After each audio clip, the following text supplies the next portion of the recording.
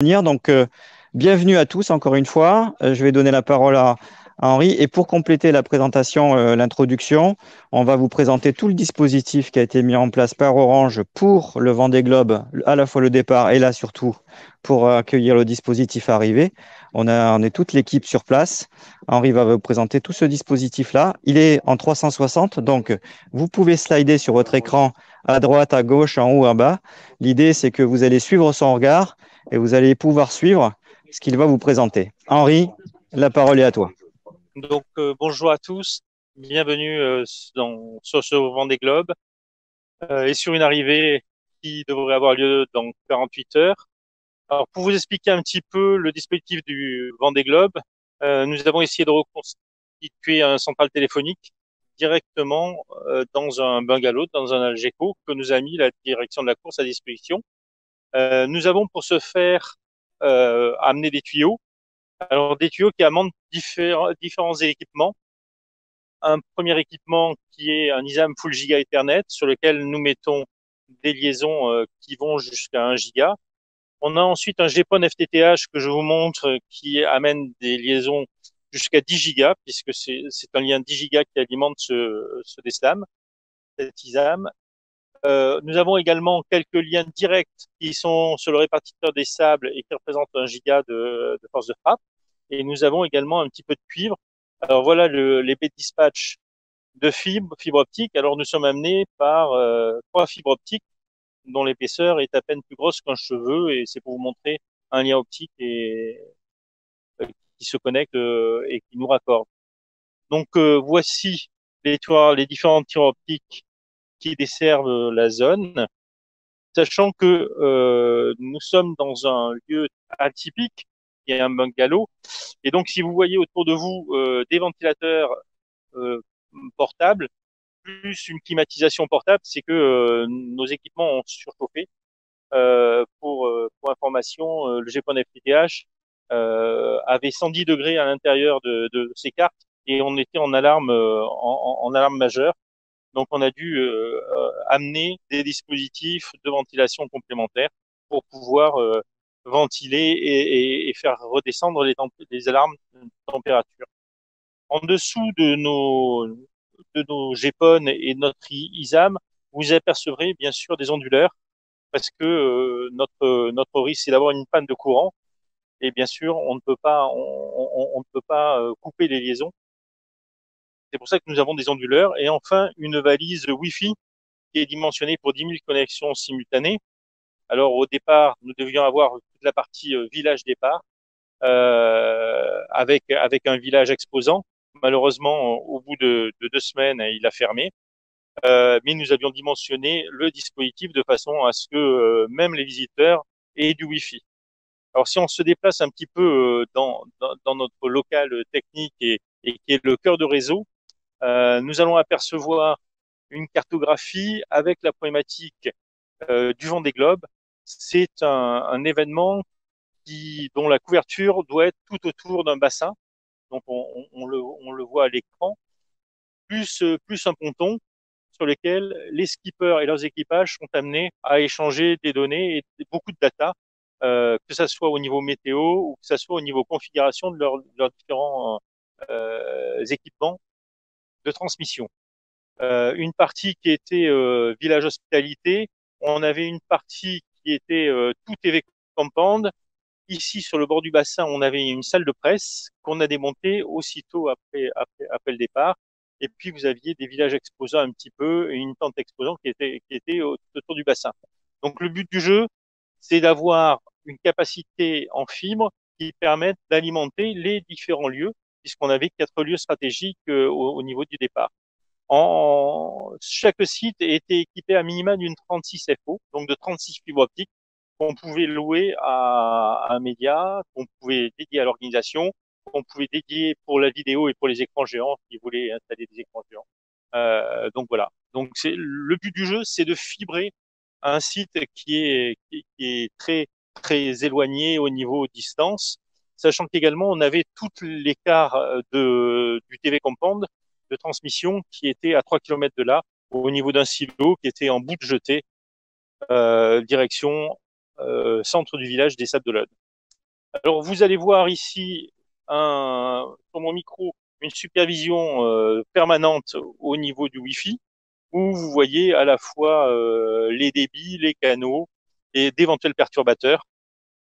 Donc, euh, ça nous permet de, de superviser tous les réseaux. Nous avons installé huit réseaux Wi-Fi pour pour cette édition, que ce soit pour les équipages en zone d'équipage, que ce soit pour l'organisation, que ce soit pour les journalistes, sachant que nous sommes aujourd'hui en train de rééquiper des cartes.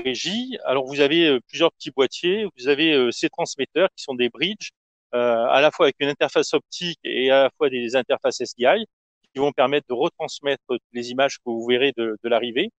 Nous avons également différents boîtiers qui sont des boîtiers pour les radios.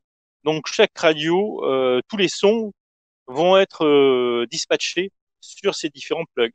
Donc chaque radio va arriver avec son câble et son équipement et, et, se plugger sur les différentes euh, sorties. Et comme ça, vous entendrez sur vos radios préférées euh, les, les, sons et les interviews des, des skippers. Euh, nous avons à côté de moi Frédéric Pouillez, qui va vous expliquer un petit peu, euh, un petit peu ce qu'il fait. Frédéric? Bonjour, ben, en fait, moi, là, je reconfigure les liaisons pour euh, AMP. Pour l'arrivée, on a de, trois demandes de liaison pour le car AMP et le diffuseur euh, télévision. En même temps, je supervise le réseau euh, avec le même système qu'Henri avec le PRTG. On a les différents réseaux et on a des remontées d'alarme euh, sur les mobiles en, cas d'alarme 24 heures sur 24. Voilà, ce qui veut dire que s'il y a une antenne qui tombe en panne, euh, il peut être une heure du matin sur nos mobiles. Nous avons une alarme qui s'affiche et, une sonnerie qui, nous dit que soit un routeur est tombé, soit une antenne est tombée. Donc on, on est prévenu à l'instant T et on peut se déplacer pour euh, effectuer le, le, dépannage. Sachant que vous voyez également euh, sur les murs tout le dispatch au niveau des routeurs. Donc on, on, on, a, on, a, on a mis une quarantaine de routeurs sur, sur le site et on a mis une cinquantaine d'antennes pour, euh, pour le Wi-Fi, ce qui est tout de même quelque chose de, conséquent. On a tiré également 18 km de fibres. Enfin, ça représente euh, en gros 4000 heures euh, produites par euh, des agents d'Orange. Alors on va sortir de, du nodal télécom.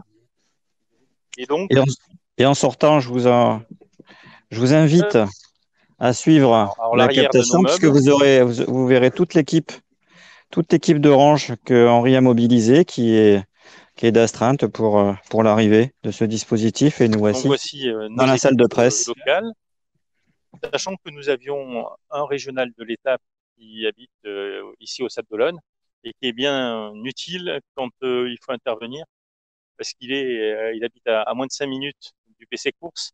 Donc on a une réactivité qui est, qui est optimale et opérationnelle. Et Henri, Henri, il y a une question de, de Pierre-Louis. Pierre-Louis, tu peux poser ta question, s'il te plaît? Oui, oui. Je, je, est-ce qu'on peut, est-ce qu'Henri peut nous présenter l'équipe qui est là? On a vu nos collègues euh, passer. Est-ce qu'il peut juste nous, nous les présenter pour, euh, pour euh, les saluer notre part? Ils sont allés se planquer. Euh, Fred, tu, tu, peux, tu peux faire sortir tout le monde?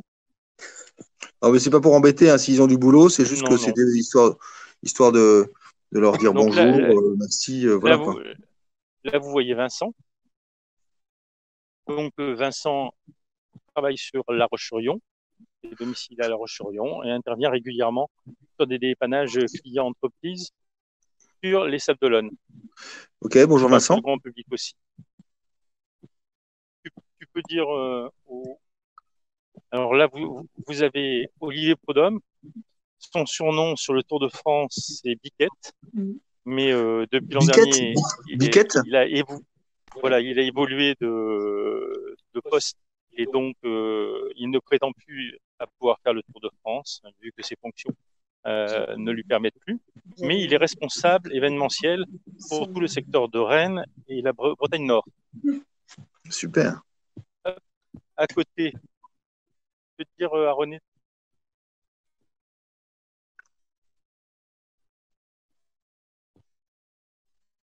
Alors, les gars, en, attend...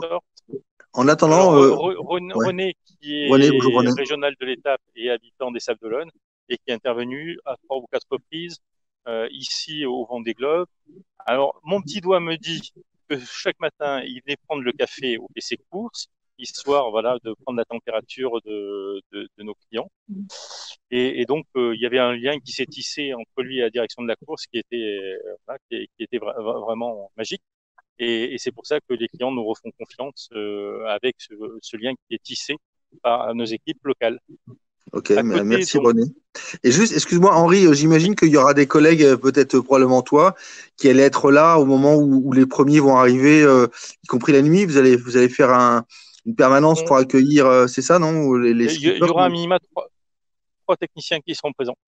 Ah super, super, oui, oui, voilà. parce que super. On peut, on peut pas, les, les, techniciens étant en direct, on peut pas, on peut pas se permettre de, de, de ne pas être là en cas de dysfonctionnement. Alors, ouais, vous avez... Essayez de prendre des... si, vous avez... si vous arrivez à prendre des photos, ça peut être sympa quoi, pour les partager après. Euh, super. Voilà. Alors là, là, vous avez Tristan. Donc, Tristan est chef de projet événementiel sur tout ce qui est Bretagne Sud, Vendée, région nantaise. Et euh, c'est le un des principaux ouvriers de, euh, du terrain au niveau La Roche-sur-Yon et de ce qui s'est fait. Et c'est un ancien du Tour de France également. Donc les chefs de projet région euh, sont sortis du Vivier et Tour de France. Vous avez Rudy Mourman qui fait partie de l'équipe événementielle euh, de l'UVIA. Alors, Il y avait après, Frédéric Pouillas que vous avez vu alors, qui était Henri, également... Henri, Henri, toi tu fais le Tour de France à vélo, mais là tu fais le tour de, du monde à la voile. Hein. C'est, t'as, t'as, t'as élargi ton, t'as élargi ton, ton cercle hein, là. J'ai, j'ai élargi mon scope. Ouais, exactement. Après, après, Donc, après, il faudra faire un tour d'espace, mais c'est peut-être plus. Il faudra voir avec Thomas Pesquet, quoi, peut-être. Donc là, vous avez euh, les équipes qui ont pris des neutriques, donc des fibres, et donc les deux quarts de production AMP sont arrivés, et donc on va faire le fibrage euh, cet après-midi des quarts de production.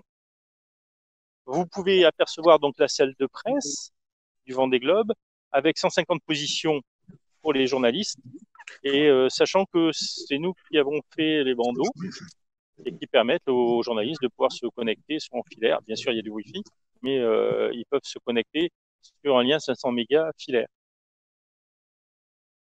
Donc, on va continuer, on va avancer. On va merci Henri et merci, merci aux équipes. Et justement, on, on rejoindra Henri tout à l'heure euh, à l'extérieur pour euh, aller voir euh, les équipes qui sont en train de câbler euh, les cars régie qui viennent d'arriver, euh, qui sont en train de se placer. Donc euh, Henri remet le masque, il faut qu'il mette le masque puisqu'on va aller euh, euh, vers les équipes organisation. Et il faut absolument avoir le, le masque pour, euh, bien sûr, là, respecter la bulle sanitaire. Eric oui, Christine. Oui, Christine. Oui, juste pour répondre à la, à la question de, de Pierre-Louis, euh, vous avez, vous êtes équipé, euh, Fred et toi, de l'appli Getting Shoot pour prendre les photos et des petites vidéos, justement, sur place. Par rapport à la question, prenez des petites, des petites, des petites photos. Donc là, on, on teste en même temps euh, la nouvelle appli Getting Shoot. C'est en POC. Voilà, c'était juste pour préciser ça. Absolument, et on a déjà commencé notre petit reportage. Voilà, donc euh, Henri vient d'arriver à l'étage au-dessus. Moi, je suis resté dans la salle de presse et on va les laisser nous expliquer ce qu'il y a à cet étage-là. Je vous laisse slider, hein, continuez à slider. Euh, C'est un petit peu sombre. Voilà, on rentre dans la pièce et on va vous expliquer ce qui se passe dans cette pièce. Donc là, vous êtes dans les bureaux de la production télé, sachant que c'est la société Nefertiti qui effectue euh, la production télé. Et c'est là, dans les pièces, où vous avez tout, tous les serveurs qui permettent de stocker à la fois toutes les vidéos des, qui sont transmises par les skippers en mer. Fred, tu peux dire un peu quelques mots pour nous expliquer un Ouais, bon, bonjour Henri. Donc, euh, bah oui, donc ici on est dans le, nodal de la post-production audiovisuelle.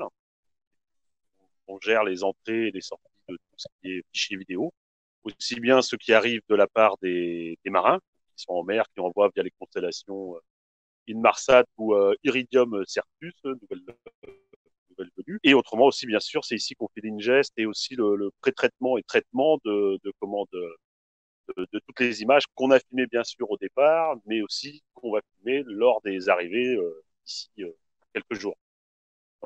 Donc, ici, ben, nous, on est équipé en machine en station de montage à vide sur, sur PC, hein, sur, station Z HP. Tout ça, c'est connecté donc à un serveur Nexis, donc il y a un serveur protocolaire euh, pour l'environnement de, montage et le partage de fichiers dans un environnement de montage audiovisuel, avec des, protocoles dédiés. Et ensuite, bien sûr, tout ça, on le monte, on l'exporte dans des différents formats, donc format protocolaire, style euh, XDCAM, OP1A 50 pour la distribution au télé, mais aussi du MP4 ou euh, à différents débits ou différents formats pour les réseaux sociaux, pour les pour les, les, les, les, partenaires qui vont reprendre ces vidéos, mais aussi pour les remonter éventuellement. Voilà, plusieurs formats. Et donc, bien sûr, pour tout ça, on utilise le réseau Orange, les fibres Orange installées ici par euh, Orange Evans. Et d'ailleurs, ce qu'on a constaté, c'est que 1 gigabit seconde Orange, ça va toujours plus vite qu'un gigabit d'une autre marque ou d'un autre opérateur. Parce que, on ne sait pas, c'est le grand secret le chèque à la fin de l'interview. Euh, le dispositif pour l'arrivée? Deux hélicos et un porte-avions, on. Ouais, alors euh, les hélicoptères, ça c'est sûr. Le porte-avions, euh, il y a eu un petit souci avec la mirotée. Bon, je désespère pas. Ça sera compliqué quand même. Et surtout, il y aura, aura peut-être un problème de tirant, on ne sait pas. Et euh, donc voilà, le dispositif d'arrivée donc de deux hélicoptères donc avec deux caméramans à bord et euh, autrement trois, je crois c'est trois vedettes donc, sur l'eau plus deux caméras, ce qu'on appelle les caméras lourdes qui sont à terre avec des pieds très lourds pour pas qu'il y ait de vibrations euh, euh, l'arrivée des, des, des, concurrents, l'arrivée des bateaux dans le dans le chenal des Sables et, et ensuite l'arrivée à Port-Olona et bien sûr l'arrivée au ponton Vendée Globe où là bah, on assistera au, au sacre du du vainqueur du Vendée Globe 2020-2021. Alors après, qui sera le, le, vainqueur du Vendée Globe 2021 C'est compliqué parce que le premier à passer la ligne n'est pas forcément le vainqueur ah, du fait des modifications qu'il y a eu pour trois, trois concurrents de, lors de, de, sauvetage de Kevin euh, en Atlantique Donc, voilà. Donc conditions extrêmes, et puis un extrême savoir-faire des équipes de Nefertiti. Exactement. C'est-à-dire que, là, que Jean... Nefertiti, donc un des, des, plus anciens opérateurs euh, dans, dans, dans, le monde un peu spécifique et dédié. Hein, c'est un peu une niche. Euh, de, de, de, autour des bateaux. Hein, c'est compliqué en mer, d'être stable, euh, de ne pas être embêté avec euh, les embruns, ça rentre l'eau, ça rentre toujours partout. Ensuite, là, ici, en plus, la spécificité ici, c'est que c'est une arrivée l'hiver, donc on est quand même euh, sur l'eau où il va faire là, apparemment, il fait 5-6 degrés avec une eau à 8 degrés. Bon, c'est pas les meilleurs, euh, c'est pas une arrivée aux Antilles, c'est pas du tout pareil. Henri, on a une question, on a une question, Henri, de Pierre-Louis. Voilà, c'est compliqué. Oui, euh, je crois je, que j'ai une question. Ouais, ouais, je voulais savoir si euh, je connais, je connais pas le temps compensé de, de Jean Lecam. Il me semble que c'est une dizaine ou 14, 14 heures. Il en 16 heures, Jean Lecam en compensé. Euh, oui, c'est ça, Jean Le Cam, c'est 16 heures et 15 minutes.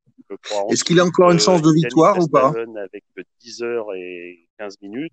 Et ensuite, Boris Herman avec 6 heures, 6 heures ou 6 heures. Ah non, il peut pas. Non, mais je crois pas que Jean est, est, puisse gagner. Ouais, il est trop loin. On sait jamais. Voilà.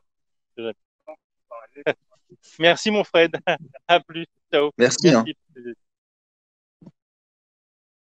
Donc là, Henri, euh, on ressort de là, on va ressortir de production. Vas-y. Je, je, vous aurais bien amené au PC course, mais euh, en ce moment, ils sont en train d'appeler les trois premiers pour euh, regarder le, la procédure d'arrivée. Et donc, ils m'ont fait signe qu'ils euh, étaient en réunion en col avec les, les trois premiers skippers.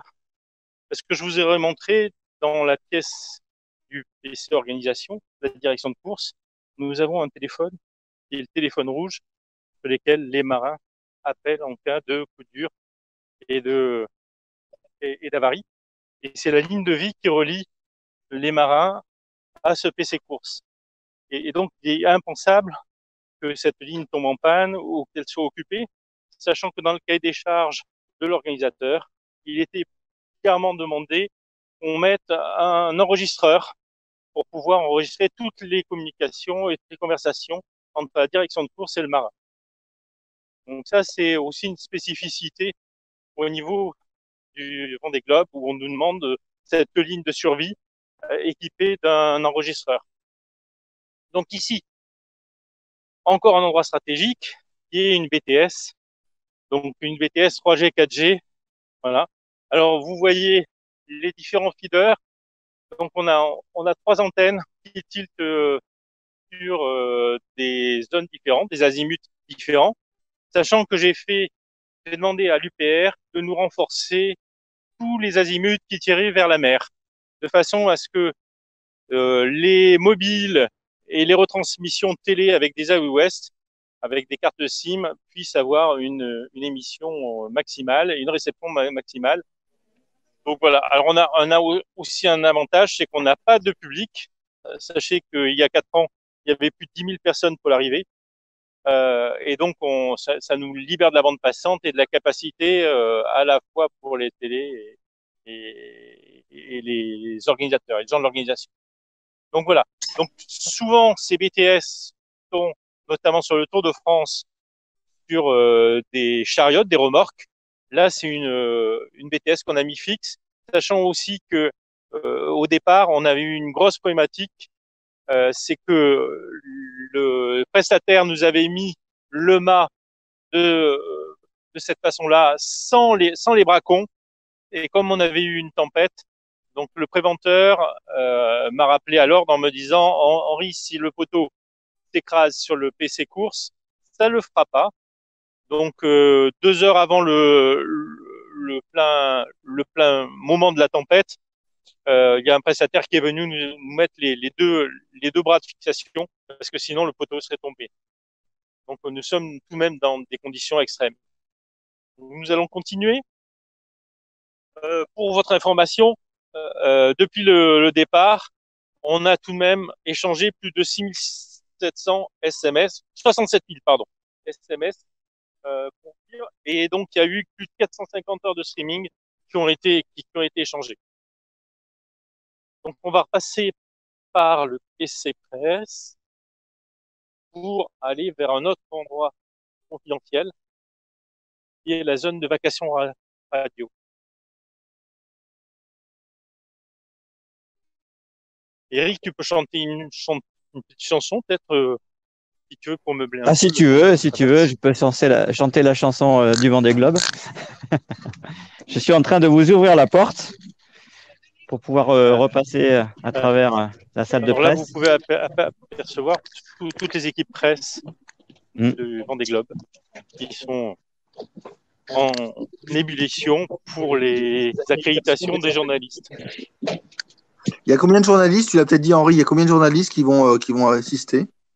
Alors là, on, on a équipé la salle pour 150 jour- journalistes, mais euh, il y en a 400 accrédités.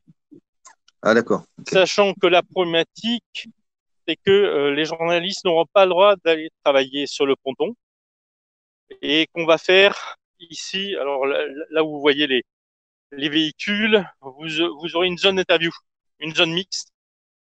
Et donc, euh, le skipper, le vainqueur et les skippers passeront devant cette zone mixte pour aller euh, en face au plateau conférence serrée. Donc, pour là, nous sommes sur l'esplanade. Sur cette esplanade, euh, on peut apercevoir le plateau de France Télév qui est en train de se monter, la, la, la tente euh, transparente. Vous voyez juste à côté un portique d'entrée du Vendée Globe, le portique Est. Vous voyez à côté les cartes d'AMP Visual TV qui vont faire, euh, qui vont assurer le direct qui viennent de se positionner sur lesquelles donc euh, mes équipes sont en train de fibrer euh, le camion et on va faire des tests vers 17 heures de transmission. Vous voyez tout ce qui est plateau de conférence et plateau télé avec la régie télé qui est juste derrière. Vous voyez donc le PC course derrière moi. Et euh, juste en face, nous avions l'ancien PC Presse, le TV Compound qui était situé à 800 mètres de là. Et vous voyez le ponton, mais on, va détailler tout à l'heure quand on, descendra sur le ponton. Voilà, donc là, on était sur le parvis. Et donc, l'équipe euh, Frédéric et, Henri se dirigent vers un autre lieu, qui est en fait le lieu de, la production et de la partie vacation que Henri va nous, va nous présenter et qui bien sûr est alimenté par la connectivité Orange. Et en même temps, c'est stratégique puisque, comme on le sait, on est à huis clos, très, quasiment pas de, spectateurs et donc euh, toute euh, cette partie retransmission est, très importante. Donc euh, là, nous rentrons dans la prod TV et les vacations radio. C'est d'ici que les liaisons permettent d'interviewer les skippers en mer, du JC, tu vas bien. Et, donc, vous voyez tous les bancs de montage qui permettent à la fois d'appeler les skippers en mer et à la fois de récupérer les images qui sont en mer et de les diffuser. Alors, juste derrière, vous, êtes en direct. Voilà pour, pour information. Alors, juste derrière, Fred, si tu peux m'accompagner.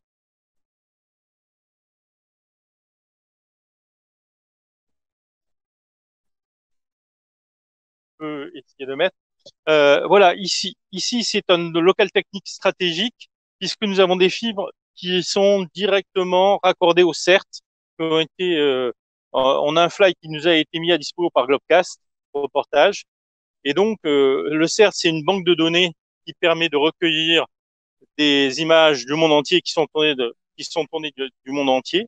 Donc, toutes les images du vent des globes et qui sont mis, qui sont libres de droit et qui sont mis à disposition des télés du monde entier sont récupérées au CERT à Paris et donc, on a un point à point, une fibre directe jusqu'au CERT.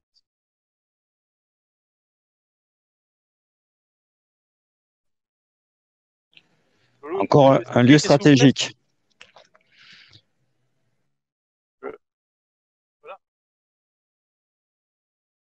Euh, alors moi perso, bah, en fait, c'est ce qu'on appelle les vacations radio.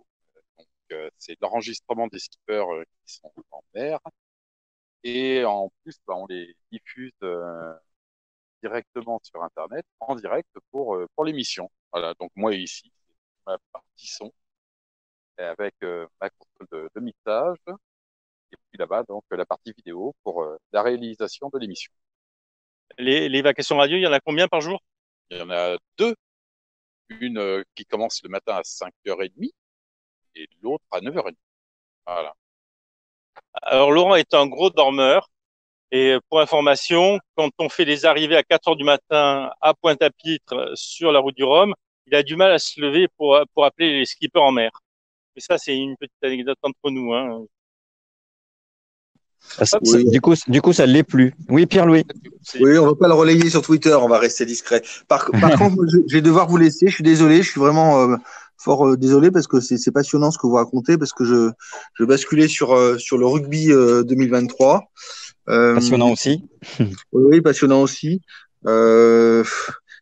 c'est pas enregistré là ce qui. si, si, si, tu, c'est ah, bien. tu poses une bonne question. Effectivement, c'est enregistré et il y aura une vidéo qui sera disponible, vidéo 360 ah. bien évidemment, qui ah. sera disponible pour revoir cette émission. Ah, et elle sera postée sur sur YouTube? Alors, euh, on va bien sûr demander l'autorisation euh, à l'organisation, mais effectivement, il est prévu de la poster ensuite sur, euh, sur un support Orange qui nous permettra effectivement de revisionner cette, cette VOD. Et est-ce qu'avec Orange France, on pourra faire la com sur, sur, sur la présentation qu'Henri a faite avec toute l'équipe on pourra eh Justement, on a, on a, je pense, Laurent est avec nous. Il y, aura, il y a des personnes qui sont dans la room, qui sont en train d'assister à la, à cette émission. Et, donc, euh, effectivement, l'objectif, c'est de, de, regarder avec eux pour qu'on puisse euh, diffuser cette émission. Ouais, Pierre, oui, c'est Christine. ouais, normalement, Laurent Moulinier d'Orange France, qui est responsable des réseaux sociaux, est a été invité là à la room pour que justement on fasse un relais après sur les réseaux sociaux euh, OF. Ah, parce que c'est extraordinaire, hein, là, ce, non seulement ce que, ce, que, ce que les équipes Orange font, merci encore Henri, toutes les équipes, et puis, euh, et puis euh, cette retransmission 360 euh, live, c'est énorme, c'est génial, c'est enfin, il faut, faut, faut, publier tout ça et faire la com là-dessus, quoi. Alors là, nous sommes à une autre extrémité avec encore Nefertiti, et donc Pollux, qui va nous expliquer qu'est-ce qu'il fait. bonjour à tous. Ben, ici, on est, on est la, la Ah oui, faut regarder la caméra. Euh, on est en, en, prise directe avec les bateaux puisqu'on c'est le lieu de réception de toutes les images transmises du bord qui sont euh, donc euh, collectées sur ces deux machines de, de 5h à 23h, qui un peu plus d'horaire quand même, parce que les marins ont un peu le tour, de, le tour du monde, donc ils ont des horaires potentiellement décalés. Et ensuite, bon, on fait un petit nettoyage du on le fait valider par chaque référent audiovisuel de chaque team avant de le mettre à disposition sur une plateforme internet.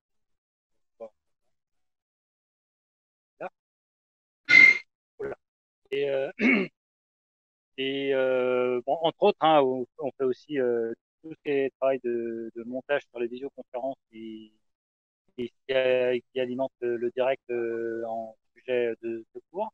Et puis euh, la cartographie 3D, reprise sur les télévisions et dans le live voilà, pour information, euh, depuis le début de cette édition, on a reçu 1855 fichiers de, de, depuis, les bateaux. C'est énorme, oui. C'est quasiment deux fois plus que lors de la dernière édition. Euh, oh ben là, euh, je trouve qu'on n'a pas grand-chose dans, dans, dans cette période-là de la journée. Euh, alors c'est très difficile, les, marins on voit un peu en fonction des conditions météo, et puis là comme on est proche de l'arrivée, on a quand même tout le groupe de tête qui, est quand même très très focus sur, euh, sur la navigation et la performance. Sur le groupe de tête, on n'a pas reçu euh, grand chose aujourd'hui, mais on a reçu euh, les deux derniers de la course qui, viennent de passer le Cap Horn, des fichiers qui sont arrivés dans la nuit vers 2-3 heures du matin. Et puis, ben, les, pas parce que les, arrivées sont proches, course va encore euh, durer euh, environ 30, euh, une trentaine de jours pour que l'arrivée s'étale fin février. moi, j'avais été intrigué par, par ton petit pad là. Alors, pad, oh, ça c'est un, un petit, un petit outil de geek qui permet de, de d'affecter des raccourcis euh, un peu compliqués qu'on pourrait faire avec plusieurs doigts uniquement sur une touche et puis éventuellement aussi faire des macro commandes des opérations répétitives euh, on a, euh, vu la quantité de fichiers, on a forcément des opérations qui sont un peu répétitives, plutôt d'appuyer sur cinq touches euh, les unes à la suite des autres. On fait une petite, une petite macro commande qui permet de, on, se met à la place du clavier, on, fabrique une session de touches, donc c'est utilisable sur tout logiciel, que ce soit un navigateur web, un, logiciel de montage, sais encore, euh, permet de, de minimiser le nombre de Pelux c'est un super technicien en plus, euh, voilà. Et, donc euh, avec lui, il nous permet de résoudre parfois des problématiques réseau. Notamment, on en a eu une petite en, début de Vendée Globe, et, et, donc il nous alerte. Et grâce à, ses compétences, eh ben on, arrive à, arriver à résoudre les problématiques euh, qui pourraient survenir sur, sur le Vendée Globe. Merci Pollux. Donc là, nous étions dans les deux régies et nous allons passer dans un autre. Alors n'hésitez pas à poser des questions, on arrive bientôt vers la fin de l'émission. N'hésitez pas à intervenir si vous avez déjà des questions. Hein. Je n'ai pas vu beaucoup de mains se lever, mais n'hésitez pas à intervenir. Donc voilà, nous, nous sommes sur le plateau des vacations radio et TV du Vendée Globe. Donc deux vacations radio tous les jours. Donc vous avez des journalistes euh, spécialisés qui interviewent euh, les skippers sur les conditions de mer, sur euh, la casse qu'ils ont eue, sur leur stratégie, quel, vent ils vont prendre, combien ils vont se toiler. Et, donc c'est toujours intéressant de suivre les vacations, surtout à moins de deux jours de la fin, pour savoir qui, va franchir en premier euh, donc euh, la, ligne d'arrivée.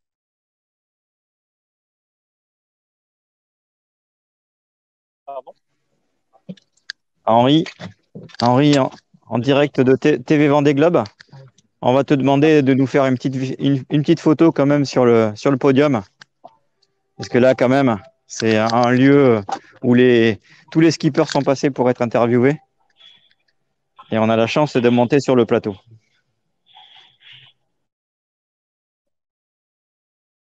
Et puis ben, la, la, fois suivante, euh, le, le lieu aussi, suivant, tu nous amènes où? pour expliquer aussi, euh, il y a quatre ans, il y avait deux lieux comme ça, puisque pendant la course, il y avait un PC Press à Paris. Euh, donc la Vendée a préféré tout laisser en Vendée pour cette édition. Euh, mais on a eu euh, un PC Press au pied de la Tour Eiffel, à Montparnasse. Et donc on avait le double travail et surtout le basculage pour que les vacations radio puissent être réalisées. On, a, on, on connaît la même problématique quand vous faites une route du Rhum entre Saint-Malo, Paris et les Antilles où on doit pouvoir switcher de façon indolore et, appeler les, les skippers euh, de façon régulière. Nous allons sortir de cette salle de conférence. Alors le, pro, le premier, le vainqueur et, et, et, les suivants, forcément passeront par cette salle. Euh, le préfet a demandé pour euh, le Covid d'avoir une personne pour 8 mètres carrés. Donc ça va restreindre la salle qui au départ était prévue pour 300 personnes à une soixantaine de personnes. Donc il y aura moins de journalistes dans la salle, il y aura moins de, partenaires. Et donc là, nous allons aller sur le car AMP. Normalement, je dois avoir mes techniciens qui doivent être en train de poser les liens pour le direct.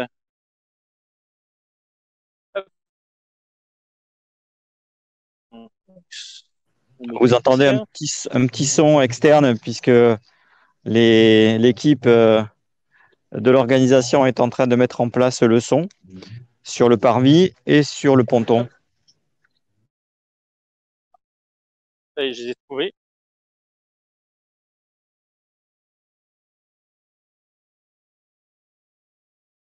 Donc voilà, nous sommes en train de tirer une première fibre. Alors nous avons adopté depuis quelques années, notamment sur le Tour de France et surtout les événementiels, euh, des fibres qui sont de la marque Neutric. Alors la connectique de la marque Neutric euh, est, exceptionnelle puisque si vous avez une traction, la fibre, la connexion, la, la connectique fibre ne risque pas de s'arracher. Et en plus, euh, la souplesse de la fibre, euh, nous avons des camions qui régulièrement roulent sur nos fibres et donc euh, euh, elles sont protégées de façon à, ne pas à ne pas être coupées. Donc on, on, va continuer à les suivre pour voir où est-ce qu'ils vont. Euh, Henri, tu, tu, peux nous nous expliquer ce que vont réaliser ces cars MP Ils viennent d'arriver, là, ils sont arrivés il y a quelques minutes, ils sont en position.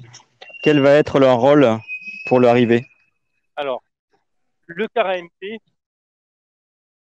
est un car qui va assurer à la fois euh, tout ce qui est image télé, tout ce qui va être filmé à 20 km en mer, jusqu'au passage du chenal et jusqu'à l'arrivée. Tous les flux des caméras qui seront embarqués à la fois sur les hélicos, à la fois en fixe, à l'extrémité du chenal et tout en la remontée, plus les caméras portables qu'auront les, les caméramans qui filmeront sur les pontons, euh, toutes ces images seront traitées là.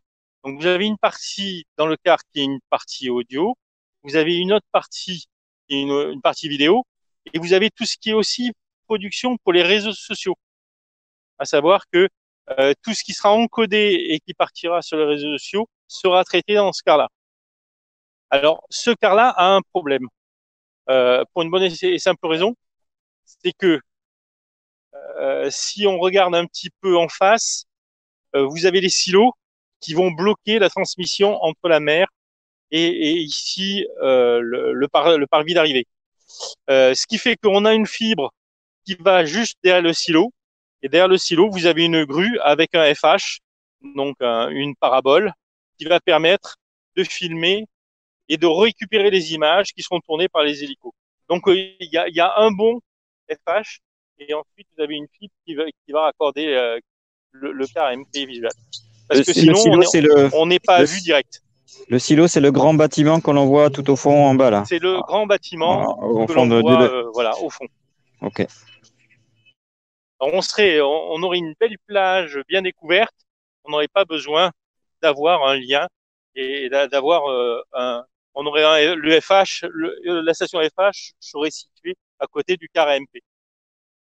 Donc là, nous, nous, attendons également un autre car qui est un car France Télé qui lui va traiter euh, le, la partie Télé qui est en train de se monter sur le Barnum euh, transparent. Donc là, on croise par hasard Franck, Franck qui est le régisseur général, qui est euh, euh, le, le, grand organisateur donc de ce Vendée Globe et qui va nous expliquer un petit peu son travail et, et quelles sont ses contraintes cette année par rapport aux éditions précédentes. Bonjour Henri, euh, bonjour à tous. Euh, bah, écoutez, moi le, le, le boulot c'est de, de mettre en place le village, de mettre en place toute cette architecture, que ce soit au départ, pendant la course et à l'arrivée. Alors les contraintes, euh, bah, c'est toutes les contraintes de logistique, mais encore plus cette année avec le Covid, avec toutes les jauges euh, qu'il a fallu euh, mettre en place, avec euh, les files d'attente. il a fallu faire de l'espace dans le village, et tout ça n'a pas joué en notre faveur puisque tout est arrivé tardivement. Donc en termes de timing, ça a été compliqué. Voilà. Merci. On continue pour l'arrivée très confiant. Euh, il y a juste la météo et le timing des arrivées qui restent encore à déterminer. Mais autrement, euh, on, on, va être prêt en temps et en heure. Aucun souci. Voilà, pour expliquer aussi, c'est que euh, son travail doit être coordonné avec le nôtre, puisque c'est lui qui nous donne le tempo des montages, des installations, pour qu'on puisse se caler et, et, poser les lignes, les fibres qui alimentent les différents, les, les différents sites. Merci Franck. Merci, Franck. Merci Franck. Donc nous continuons enfin en descendant sur le lieu qui sera mythique dans trois jours, à savoir le ponton d'arrivée, qui est également le ponton de départ. Alors vous aurez peut-être des essais sons qui viendront polluer. Alors vous, vous voyez également euh, plein de fibres et de câbles électriques en provisoire donc, euh, il faut savoir que 18 euh, km de câblage pour câbler à la fois tout le bassin et tout le parvis, euh, c'est une sacrée gageure et une sacrée prouesse.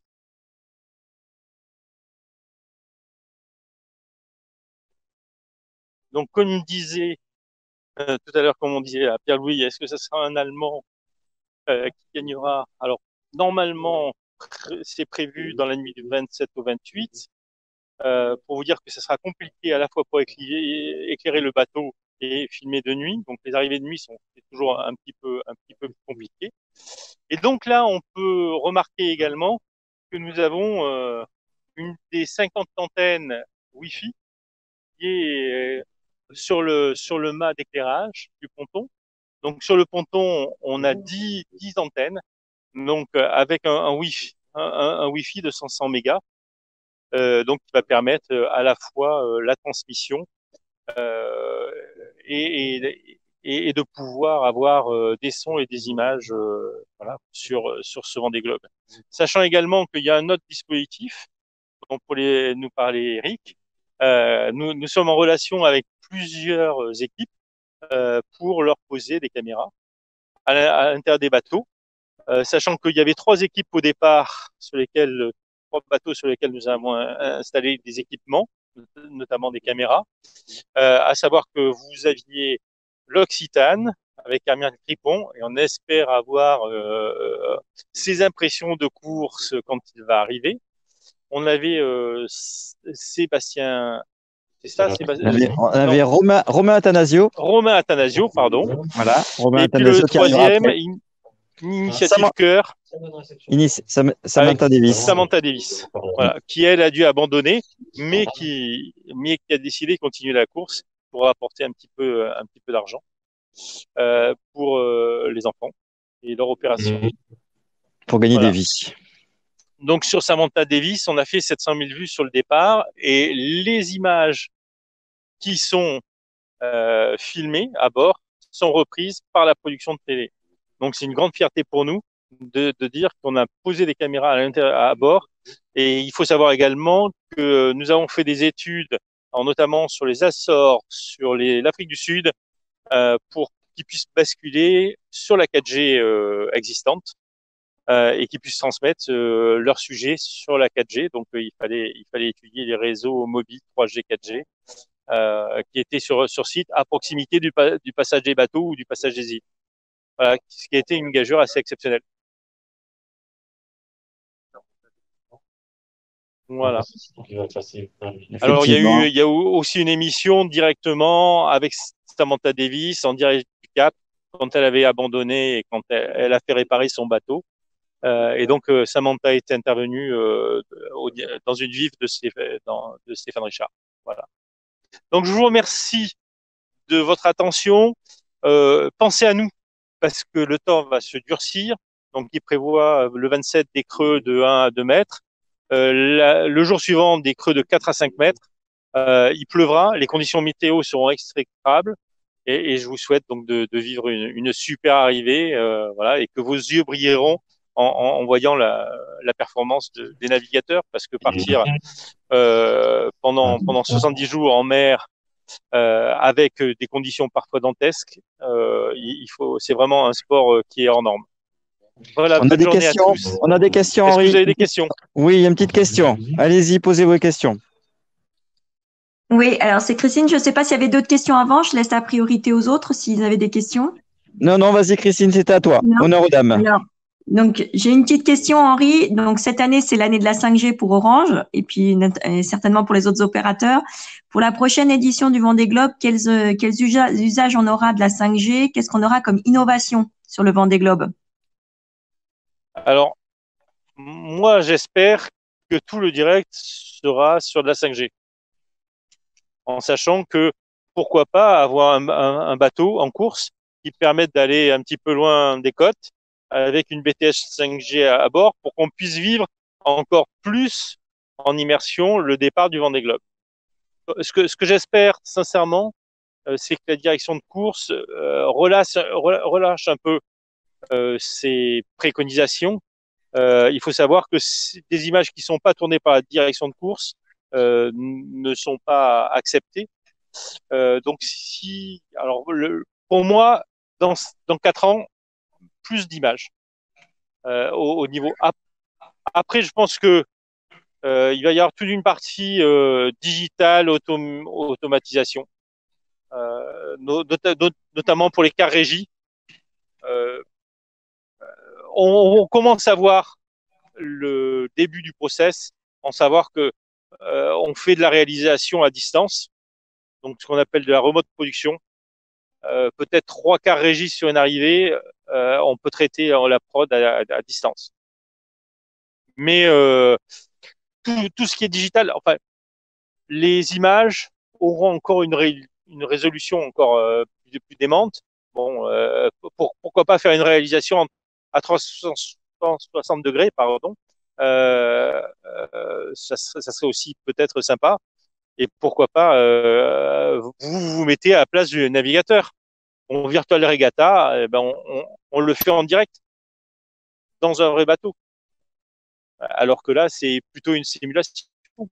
Euh, je pense, je pense qu'il y a pas mal de pistes, euh, que ça soit au niveau gamer, euh, que ça soit au niveau, au niveau réalisation et prod TV, à exploiter et certainement sur, euh, sur la 5G et grâce à la 5G. Ça fait rêver, Henri. Je confirme. Je confirme. Merci beaucoup, Henri. Merci beaucoup. Est-ce que vous avez d'autres questions? Eh bien, écoutez, je pense que on va terminer cette émission. Merci encore, Henri, pour euh, le reportage. Je remercie aussi Frédéric qui a tout préparé techniquement et puis à qui était aussi euh, euh, pour conseiller. On vous fait des coucous à tous.